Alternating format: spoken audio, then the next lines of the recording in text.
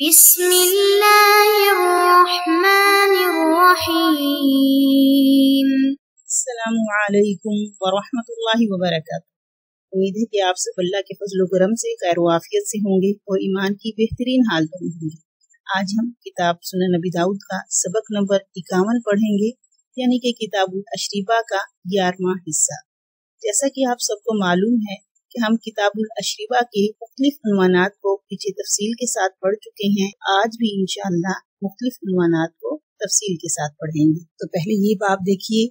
बाबू fin नबीदी इदा गोला। यानी कि नबीज में अगर जोश पैदा हो जाए तो इसका क्या हुक्म है? पहले हदीस की इबारत देखिए। बिस्मिल्लाहिर्रहमानिर्रहीम। व भी क़ाल हदसना हिशाम इब्न अम्मार क़ाल हदसना सदक़त इब्न खालिद ज़ैद वाक़िद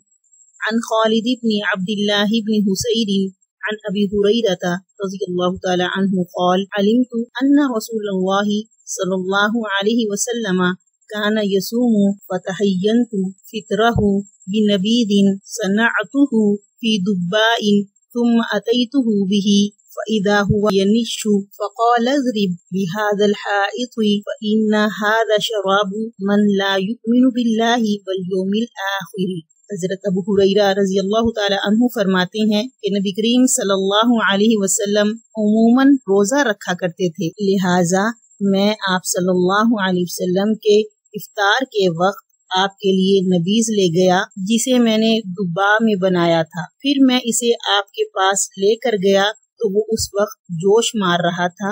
आप सल्लल्लाहु अलैहि वसल्लम ने फरमाया कि इसे दीवार पर दे मारो, इसलिए कि इस आदमी की शराब है जो अल्लाह पर और योम आखरत पर ईमान नहीं रखता। तो देखिए, यहाँ पर काना यसूमु फतहयन्तु फितरहु बिनबीदिन सनअतुहु फ़ी दुब्बाइन। तो इसके दो माना यहाँ बयान किए गए हैं। एक ये कि बस मैंने आप सल्लल्लाहु अलैहि वसल्लम के रोजा न रखने का दिन ताड़ लिया या फिर माना ये है कि आप सल्लल्लाहु अलैहि वसल्लम के इफ्तार के वक्त का इंतज़ार करने लगे। नबीज के साथ जो मैंने दुबा, जो कि कद्दू का बर्तन होता है, उस बर्तन में मैंने बनाई थी। तो आगे हदीस में ये जो बयान किया गया कि उसमें जोश आने लगा, आप सल्लल्लाहु अलैहि वसल्लम ने उसको दीवार पर मारने का हुक्म दिया तो ये इसलिए था कि नबीज में जोश आना और झाग आ जाना इसके नशा आवर हो जाने की अलामत है। इसी तरह अगर इसका जायका तल्ख हो जाए तो भी इसे पीना मना किया गया है। इसीलिए हराम मशरूब को जाया कर देना चाहिए, क्योंकि कबीरा गुनाहों का इर्तिकाब ईमान के नाकिस होने की अलामत होती है, यानी कि हलाल और तैयब मशरूब है। लेकिन अगर इसमें नशा पैदा हो जाए तो फिर इसका पीना हराम होगा। अगला बाब देखिए। बाबू फिशुरबी ईमन यानी कि खड़े खड़े पानी पीने का बयान। शुरबी ईमन के बारे में दोनों तरह की अहादीस हैं। बाद से जवाज का हुक्म मालूम होता है और बाद से हुमानियत मालूम होती है। नहा शुरबी ईमन इसे या तो नहीं तंजीही के लिए है या फिर ये तहरीम के लिए है। मगर फिर बाद में ये मनसूख है। इस हदीस की वजह से इसमें नबी करीम सल्लल्लाहु अलैहि वसल्लम ने जमजम का पानी खड़े होकर पिया। बाज ने कहा है कि जो अहादीस जवाज पर दलालत करती हैं, वो ज़्यादा कवी हैं, बनस्बत उन अहादीस के जो नहीं पर दलालत करती हैं। और बाज हजरात ने यहाँ पर ये तोजी भी बयान की गई है कि क्याम से मुराद, यानी चल कर पीने से मना फरमाया है। और बाज ने यूँ तोजी की है कि जल्दी खड़े होकर बगैर तस्मिया के पीना यहाँ पर ये मुराद है, इससे मना किया गया है। हदीस की इबारत देखिए। वबी कौल हदसना मुस्लिम इब्राहिम अन क़तादता रज़ी अल्लाह ताला अन्हु, अन अनस रज़ी अल्लाह ताला अन्हु, अन्न रसूलुल्लाह सल्लल्लाहु अलैहि वसल्लम नहा अन यशरब रजुलु क़ाइमन। यानी कि हज़रत अनस रज़ी अल्लाह तु से रिवायत है कि नबी करीम सल्लल्लाहु अलैहि वसल्लम ने मना फरमाया कि आदमी खड़े खड़े पिए, पानी या कोई मशरूब वगैरह। यहाँ पर देखें कि बाज उलामा किराम ने यहाँ पर मुमानियत को कराहियत पर मामूल किया है। यानी बैठ कर पीना बेहतर है अच्छा है और बाज ने खड़े होकर पीना नबी करीम सल्लल्लाहु अलैहि वसल्लम के साथ खास करार दिया है। यानी नबी करीम सल्लल्लाहु अलैहि वसल्लम के लिए जायज़ था। हमें मना की हदीस पर अमल करना चाहिए। एहतियात इसी में है कि खड़े होकर पीने से इजतनाब किया जाए। फ़ायदा इसमें ये है कि नबी करीम सल्लल्लाहु अलैहि वसल्लम की ये तलकीन है, पानी भी हतुल इम्कान बैठकर पीना चाहिए। ये नहीं तंजीही है। और बिला वजह खड़े होकर पीना किसी तरह भी मुनासिब नहीं है। तो इसलिए यहाँ से पता चलता है कि इस्लाम आराम से बैठकर पीने की हौसला अफजाई करता है और नबी करीम सल्लल्लाहु अलैहि वसल्लम का मामूल भी यही था। हाँ अलबत्ता अगर ज़रूरत हो तो फिर खड़े होकर पीना भी जायज़ है, लेकिन इसे मामूल नहीं बनाया जा सकता। अगली हदीस की इबारत देखिए।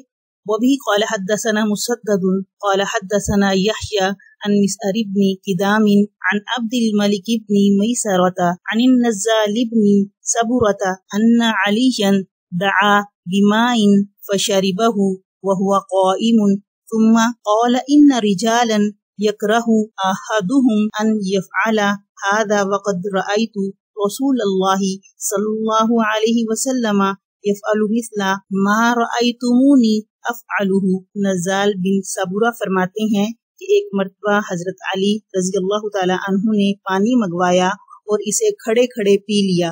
फिर फरमाया कि बाज लोगों में से कोई इस तरह करने को मकरू समझता है और बेशक मैंने नबी करीम सल्लल्लाहु अलैहि वसल्लम को देखा है इसी तरह, जैसा कि तुम लोगों ने मुझे देखा है। यानी जैसा कि तुम लोगों ने मुझे करते देखा है। तो देखिए, पिछली हदीस में हमने पढ़ा कि खड़े होकर पानी पीने से नबी करीम ने मना फरमाया है।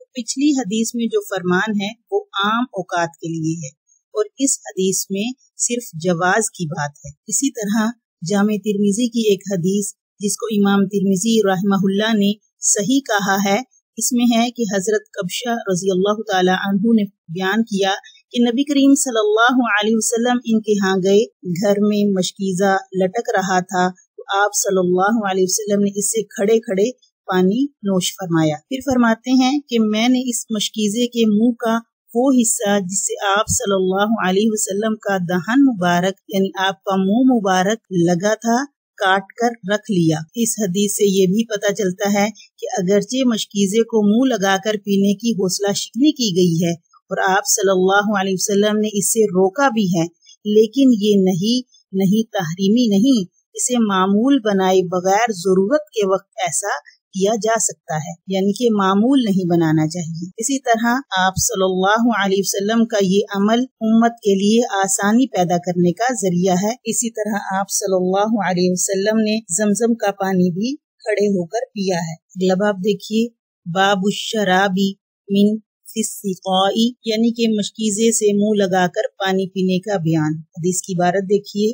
वो भी कौल हदसना मूसबन इस्माइला, कौल हदसना हम्मादुन, कौल अखबराना कतादतु रज़ी अल्लाह अन्हु, अन इक्रिमता अन इब्न अब्बास रज़ी अल्लाह ताला अन्हु, कौल, नहा रसूलुल्लाह सल्लल्लाहु अलैहि वसल्लम अन शुरबी मिन फिसिकाई अन रुकू बिल जल्लालती वल मुजस्समती कौल अबू दाऊद अल जल्लालतुल्लती तअकुलुल अजरता हज़रत इब्ने अब्बास रज़ी अल्लाह तआला से रिवायत है कि नबी करीम सल्लल्लाहु अलैहि वसल्लम ने मना फरमाया कि मशकीजे से मुँह से पानी पीने से और गंदगी खाने वाले जानवरों पर सवारी करने से इमाम अबू दाऊद राहिमहुल्लाह फरमाते हैं जल्लाला वो जानवर है जो निजासत खाता है। तो देखिए, यहाँ पर हदीस में आनिशुर भी मिन फिस्तिकाई जो ज़िक्र किया गया तो इसका मतलब ये है कि मुमकिन है कि मशकीजे में कोई ऐसा जानवर हो, कोई ऐसा मुजी जानवर हो, जो कि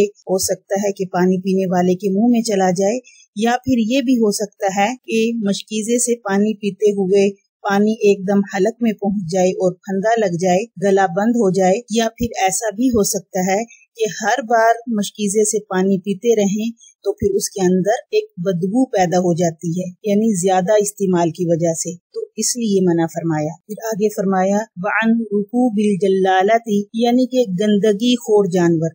तो फिर इसकी गलाजत जो है, यानी इनकी गंदगी का असर पीने में भी होगा और जो सवारी की सूरत में सवार को भी लगेगी। और मुजस्मा वो जानवर है जिसे निशाना बनाकर, हदफ बनाकर निशानाबाजी की जाए, यहाँ तक के वो मर जाए। क्योंकि जमाना जाहिलियत में लोग अपना निशाना सीधा करने के लिए जानवरों को बाँध कर इस पर तीर फेंकते थे, वो जानवर मर जाता था। इसलिए इस हदीस में मशकीजे से मुँह लगाकर या फिर नल को मुँह लगाकर बराह रास्त पीना जो है वो मकरूह तंजी करार दिया है। और यहाँ पर उलमाए किराम ने ये भी फरमाया है कि ये सिर्फ़ उस सूरत में है कि जब मशकीजा लटका हुआ हो तो फिर बराह रास्त पीने में इसका जवाज साबित हो सकता है। इसी तरह अगर मशकीजा लटका हुआ हो और उसे उतारा ना जा सकता हो या फिर बर्तन ही मुयसर ना हो और हथेली से पीना भी मुमकिन ना हो तो इस सूरत में मशकीजे से बराह रास्त पीने में कोई हर्ज नहीं है। इसी तरह गंदगी खाने वाले जानवर का दूध, गोश्त और इसकी सवारी सब मना है। जिबा करना हो तो पहले कम अज कम तीन दिन तक इसको बाँध कर रखा जाए ताकि इसकी गंदगी जो है वो जायल हो जाए। क्योंकि तीन दिन तक जब इसको बाँध कर रखा जाएगा तो कोई भी गंदी चीज़ उसके जिसम में दाखिल नहीं हो सकेगी। इसी तरह किसी ममलूका जानवर को निशाना मारकर कत्ल करना ये भी हराम है। मगर ये कि वो वैशी बन जाए, यानी कुछ जानवर वैशी हो जाते हैं तो फिर उनको इस्तिरारी तौर पर कत्ल करना, मारना जायज़ है और शिकार के हुक्म में आ जाए तो फिर जायज़ है। अगला बाब देखिए, बाबू फिख्तिनाती यानी के मशकीजे का मुँह मोड़ने का बयान। इख्तिनात से मुराद मशकीजे के मुँह को बाहर की तरफ़ मोड़ देना है, ताकि इसमें सख्ती सी आ जाए। फिर इससे मुंह लगाकर पानी पी सके आसानी के साथ इस तरह मशकीजे में बदबू पैदा हो जाती है और इससे पानी के बहने और कपड़े के भीगने का अंदेशा रहता है हदीस की इबारत देखिए वो भी कौल हदसना मूसबनु इस्माइल अन जुहरीशी अन्नहु समिअ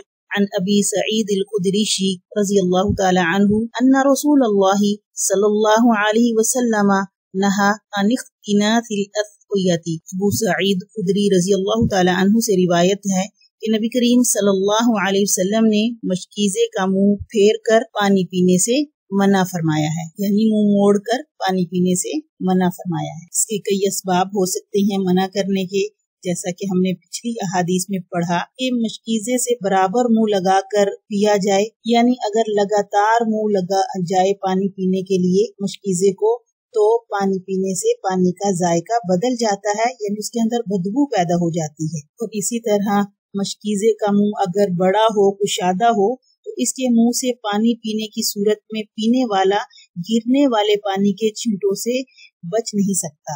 और इसके हलक में ज़रूरत से ज़्यादा पानी जा सकता है, जिसमें हलक में पानी फंस जाने का खतरा भी होता है जो कि नुकसानदेह हो सकता है। और यहाँ पर एक कौल ये भी है कि ये मुमानियत जो की गई है, बड़े और कुशादा मुँह वाले मुश्किजे से मुतालिक है। और उजर की सूरत में जायज़ भी करार दिया है इसको। अगली हदीस देखिए। वबी कौल हदसना नसरुबन अलीशिन, कौल हदसना अब्दुल अला, कौल हदसना उबैदुल्लाह इब्न उमर, अन ईसा इब्न अब्दुल्लाह रजुल मिनल अंसारी अन अबीही अन्न रसूलुल्लाह सल्लल्लाहु अलैहि वसल्लम दआ बिदावतिन यौम उहुदिन फक़ाल लखनिस फमल इदावती सुम्मा शरिबा मिन फीहा ईसा बिन अब्दुल्ला से रिवायत है कि नबी करीम सल्लल्लाहु अलैहि वसल्लम ने गजवा उहद के दिन एक बर्तन यानी मशकीज़ा मंगवाया फिर फरमाया इस मशकीज़े का मुँह मोड़ दो फिर आपने इससे मुँह लगाकर पानी पिया चुनाचे दूसरा कोई बर्तन नहीं होगा इसलिए मैदान जंग में मुँह इसलिए मोड़ा था, वरना नहीं जो है, वो तंजीही पर मामूल है। देखिए, पहली हदीस में इससे मना किया गया, यानी मुश्किजे से पानी नहीं पीना, और दूसरी हदीस जो हमने अब पढ़ी, इखनस फमल अदावती, या किसी रिवायत में ये भी है, इखनिस फमल इदावती तो यहाँ पर बज़ाहिर हदीसों में तारुज है। तो यहाँ पर अल्लामा खत्ताबी राहिमाहुल्ला फरमाती हैं कि एहतमाल ये है कि नहीं जो है वो खास है बड़े मशकीजों के साथ। इदावती वगैरह से मना नहीं, या ये एहतमाल है कि अबाहत ज़रूरत की वजह से हो और मना इसकी आदत बना लेने से हो, यानी कि मामूल नहीं बनाना। और बाज हजरात ये फरमाते हैं कि ज़ाहिर ये है कि अव्वलन मना जो किया वो तंजीही के लिए शफकत के तौर पर है और दूसरी हदीस में इखनस या इखनिस का हुक्म जो है वो अबाहत के लिए है। हमारा आज का सबक यहाँ मुकम्मल हुआ। इनशाला अगले सबक के साथ फिर हाजिर होंगे। अस्सलाम वरहमतुल्लाहि वबरकातुहू।